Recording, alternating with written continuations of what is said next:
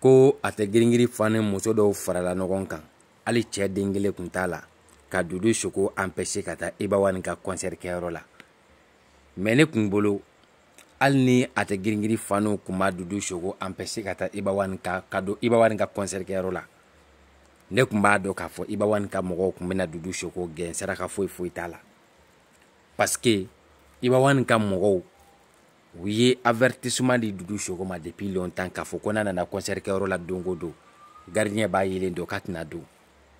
ɔ mɛ o bɛɛ la a tɛ giringirin fanu ja olu fana sigilen bɛ ka dudu sogo makɔnɔ a bɔra ka manamanakan min fɔ bigini ani palimɛri ma ɔ k'olu b'o dimi bɔ a la ko dennin dɔ tun bɛ yen k'o bɛ karate la ɔ k'o ye fila fila t'a la wa mɔ dudu a i yɛrɛ ɲɛ bɛ nin bɛɛ lajɛlen na nin y'a ye fɔlɔ musow dɔrɔn i ko k'i ye cɛ ye ko i ka farin nin y'a ye musow ye anpɛse cɛ den kelen ta la muso ka e anpɛse ka taa kɔnsɛri kɛyɔrɔ la o de la ɛɛ u b'a fɔ kuma bɛɛ ko mɔgɔ caman bɛ kuma u ka kamera kɔfɛ mɔgɔ caman da ka bon u ka kamera kɔfɛ mɔgɔ caman malo ka dɔgɔ u ka kamera kɔfɛ mɛ n'i y'u bila kamera ɲɛfɛ u bɛ tiɲɛ fɔ dɛ parce que lorsque tu as dit qu'il ye dɛliforo bugɔ wagati la cɛya kan kun b'i la dɛ dudu ja bigini fani musomanw man ɲi han n'i y'a ye bigini fani musomanw dɔrɔn ye e empêche k'e lasiran k'i bagabaga hali ma se ka concert kɛ yali bigini fani cɛmanw dun ni e n'olu kun bɛnna e b'a kɛ cogo di n'i kun ye ni mɔmɔ de kanada ninnu bila face à face e b'a kɛ cogo di dudu n'i tun ye nin morgan ninnu bila face à face e tun tɛ est ce que e tun bɛna se morgan na e tun tɛna se morgan na dudu bigini fani cɛ badenba de bɛ yen i y'a faamuya buba box ninnu n'a sɔrɔ olu tun bɛ pari ko e tun ye nin damatɛmɛ wale in kɛ ja n ka ca kuma tun bɛ caya dɛ e ne m'a dɔn ko bigini faniw ka farin nin cogo la tan tɔ ɛ musow hali cɛw tɛ musow cɛ muso bɛ se ka ne bali ka n ka ko kɛ yɔrɔ yɔrɔ n ka cɛ ee cɛ wa sɔrɔ muso ka farin dɛ hali i b'a dɔn kɛlɛ kɛlɛ min ka jugu diɲɛ kɔnɔ ni mɔgɔ y'i bɔgɔ o tɛ koba ye sa mɔgɔ bɛ se ka mɔgɔ bɔgɔ mɛ an ka cɛ n ta tɛ ban o de ka jugu n'a bɛɛ ye mɔgɔ mɔgɔ ka kɛlɛ tɛ ban faraw la e mɛ e kamalen kɔrɔba belebele jamajan sanfa dugufa ɛ musow k'e bali ka taa kɔnsɛri kɛyɔrɔ la f'a bɛ da minɛ ee dudu cɛ cɛ ye ne lamaruya koyi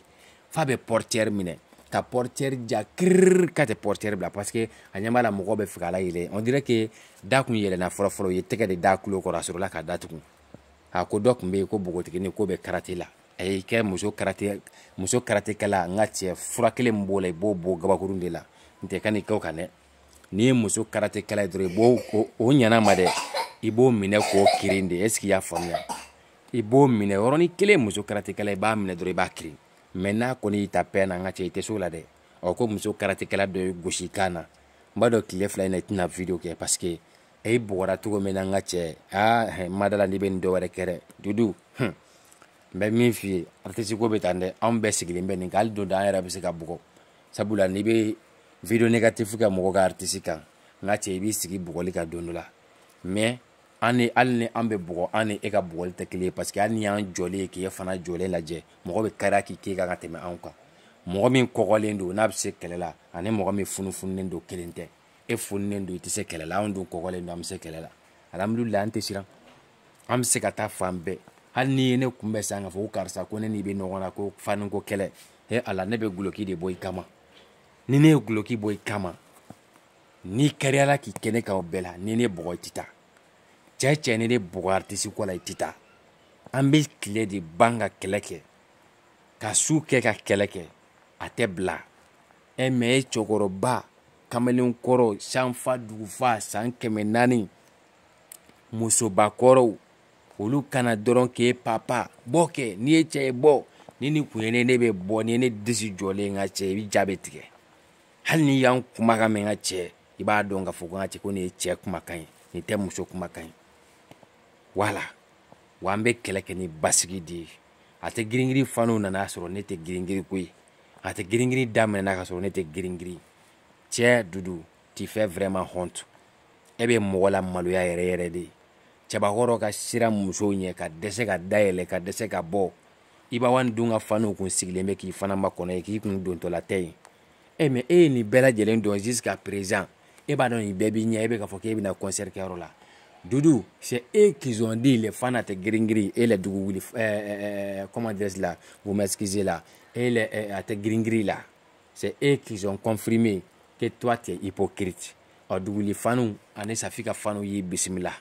mais olu yɛrɛ b'a dɔn fana tu es hypocrite dudu ça ne va pas hein ça ne va pas ye ne lamaloya kojugu nin tɛ cɛkisɛ baara ye cɛbakɔrɔ b'a yira k'i ye cɛɛ de ye mais cɛbakɔrɔ kana yira k'i ye muso ye e b'a yira cɛbakɔrɔya kɔnɔ k'i yɛrɛ ye muso de ne tigɛr'i la bilahi cɛ dudu ne tigɛr'i la ka siran musobakɔrɔw ɲɛ ne tigɛr'i la ka siran musow ɲɛ ne de ko ne tigɛr'i la i kɛra musobakɔrɔ de ye mɔgɔ mɔgɔ bɛ siran muso ɲɛ o musobakɔrɔ de ye cɛbakɔrɔ kan k'i jɔ a cɛ a jɔyɔrɔ la ka cɛ a wale kɛ n'u y'i papa i bɛ bɔ k'a yira k'a fɔ ko ne tɛ mɔgɔ papa ta ye hali muso taamana n'i jɔ ko cɛ ko bɔ kɛ i bɛ bɔ k'i jɔ k'i waga hali maa kelen tɛ se ka ɲɛ jɔ ɲɛ la kuma tɛ k'i k'i kan cɛ o cɛbakɔrɔya de sa cɛbakɔrɔw mana ɲɛ waga mɔgɔw ɲɛ la caman b'i sen bɔ hali ni kɛlɛkɛla ye mɔgɔ tan ye mɔgɔ min bɛ magɛrɛ a tɛ tɛmɛ mɔgɔ kelen kan paseke maaw b'u mabɔ e yɛrɛ yecogo ani yanga ni kɛcogoya fɛ dudu non tu fais vraiment honte bilahi kɛra mɔgɔ la maloya la y'i ka mɔgɔw lebu yɛrɛ de quoi i ka mɔgɔw lebu fo ka dɔn k'i ka mɔgɔw lebu i ye sɔlidaw lebu i ye duguwuliw lebu e de m'a f'olu ye k'e bɛ se ko la k'e bɛ se kɛlɛ la e de m'a fɔ k'e tɛ siran mɔgɔ ɲɛ mais cette fois ci tu as eu peur hein tu as eu vraiment peur je n'ai jamais vu une personne foirée comme toi je n'ai jamais vu une personne qui peut fuir devant les femmes à, à part toi si c'était moi je répète encore si c'était moi qui les fans par exemple, si je prends l'exemple, que les fans de, de Safi Diabaté ou les fans de Mariamba voulaient m'empêcher de faire quelque chose, mon frère, a kun tɛ k'e ta in kɛcogo ye sa yan'a mɔgɔ bɛ bɔ a kalama o y'a sɔrɔ n ye dɔnniw de dayɛlɛ que ce soit une femme ou un homme artiste ko kɔnɔna na n'i ye ne empêcher ka ne provoquer n b'i gosi n'i sera n na kɛlɛ la i ti taa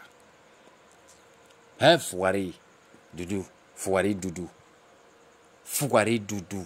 fugari musow y'a dasi a bɛ fɔ ne ma ko ee cɛ bɛ mɔgɔ faga ni lebu ye nin ye musow bolo ta musoba kɔrɔw ka fila fila ta i la k'i bila nɔrɔmali la k'i bila ɔri duuru la duuru duuru vraiment ça fait honte c'est vraiment pitié you have to change the way you fight you have to be a big man i yɛrɛ kɛ cɛ ye kana i yɛrɛ kɛ muso ye